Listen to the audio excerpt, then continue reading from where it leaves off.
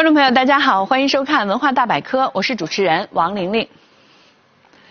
二十世纪三十年代的美国经历了一场前所未有的经济危机，失业率居高不下，工人们受尽压榨。这场经济灾难沉重地打击了当时美国人的精神和意志。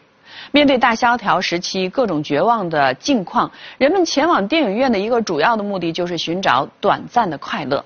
这一需求就催生出了当时的喜剧片和歌舞片的繁荣。电影《摩登时代》就诞生在那样一个时代背景之下。这部影片不仅是电影大师卓别林的代表作，更被誉为是美国电影史上最伟大的电影之一。《摩登时代》是一部集幽默、讽刺、控诉于一体的经典影片。它的出现与当时经济危机给人们带来的生存危机有着密切的联系。但这部作品又超越了时代，具有了更为永恒的意义。它揭示了在工业时代，一个追求幸福生活的普通人与社会机制之间不可调和的矛盾。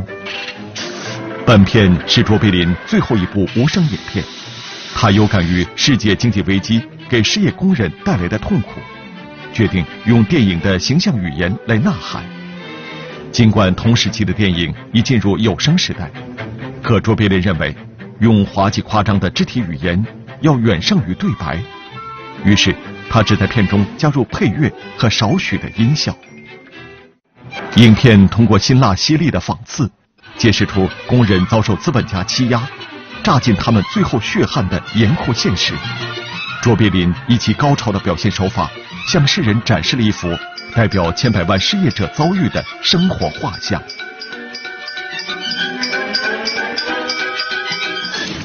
卓别林就是那一个时代最耀眼的明星，他走在了那个时代的前端。作为一位伟大的艺术家，他把对时代的思考放入电影，把自己的精神融入作品之中。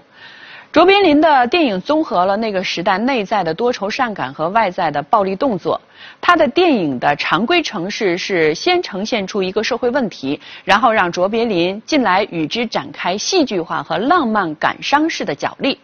这种方式产生的化学反应，即使是放在今天蓬勃发展的电影时代，都是从未被超越的。电影《摩登时代》有两条主线，一条是流浪汉查理，另一条是流浪女。查理的形象代表着那一时期茫然无知的工人阶级。电影《摩登时代》描写的是人和机器的冲突，深刻展现出了当时的美国工业因为转用机器而大量解雇工人所造成的社会现状。影片当中出现了很多夸张的画面，男主角在不断加快的传送带作业线上被弄得精神失常，被卷入巨大的机器齿轮之中。这些影像无不反映出了机器时代给人们所带来的恐惧与打击。卓别林以他高超的表现手法，向世人展示出了一幅代表着千百万失业者遭遇的生活画像，而影片中的几组蒙太奇镜头的使用也极具深意。卓别林的影片大都由他自编自导自演自己配乐，称得上是一位全能大师。他作品的喜剧风格在幽默夸张的同时，又带有一丝苦涩。卓别林一向关注小人物的命运，将人道主义精神与社会批判融入喜剧情节之中，使他的作品具有了一般以搞笑为目的的喜剧电影难以企及的思想深度。他既擅长表演粗放荒诞的滑稽场面，又善于表演微妙而又细腻的讽刺情节。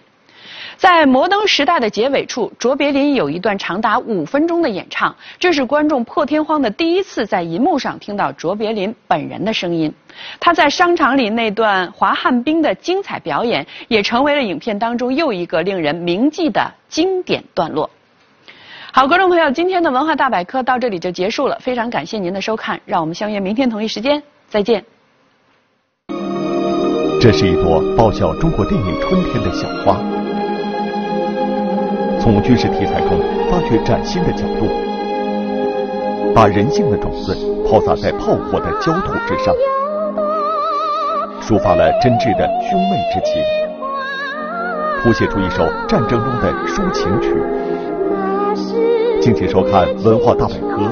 不褪色的胶片记忆，小花。